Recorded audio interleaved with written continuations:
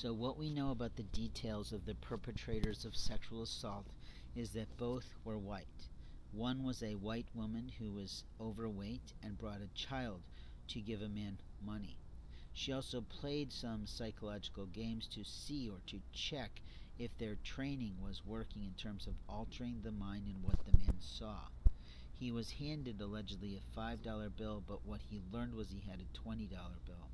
And that made a problem for him because most likely he got hit in the store by someone who wanted him to have more.